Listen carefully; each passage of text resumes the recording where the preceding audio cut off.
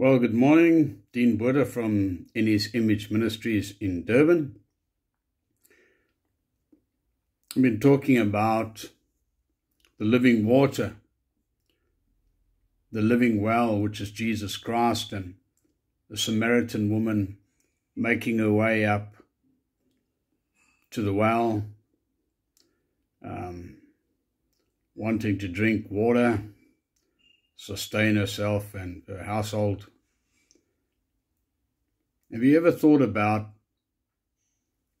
the level of dissatisfaction that she was experiencing in her life?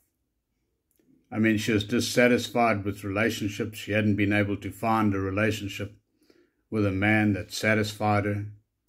And so she'd constantly moved on. She wasn't satisfied with her cultural experience. She wasn't satisfied with the enmity in her life. She wasn't satisfied with the religious experience. Going up to the mountain, it didn't seem to satisfy her.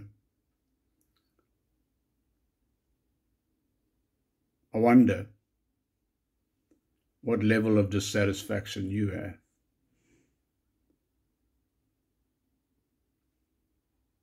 See, we we can go to a place, go to a fellowship. Yeah, we haven't met the wellspring of life.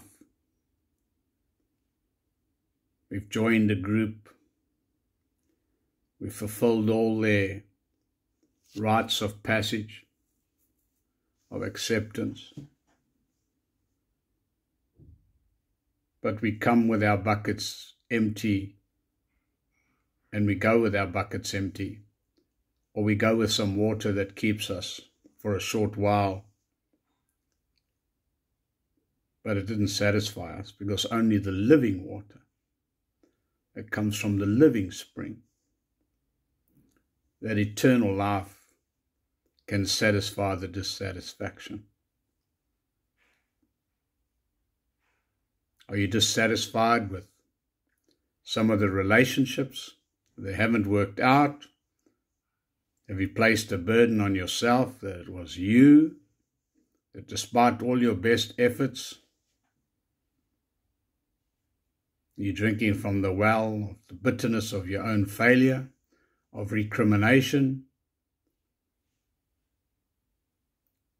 What buckets are you bringing to the Lord today? Because only He can say to me, Ask of me, and I'll give you living water to drink, and you will thirst no more. So, this dissatisfaction,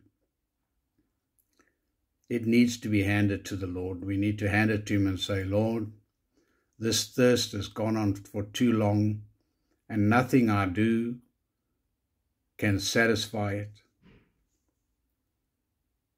Would you give me the living water to drink so that I can thirst? No more.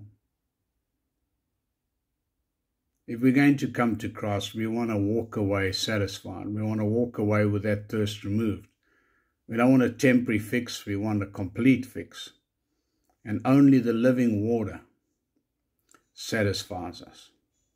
So, why don't you take your dissatisfaction to the Lord today and let Him fill you with living water?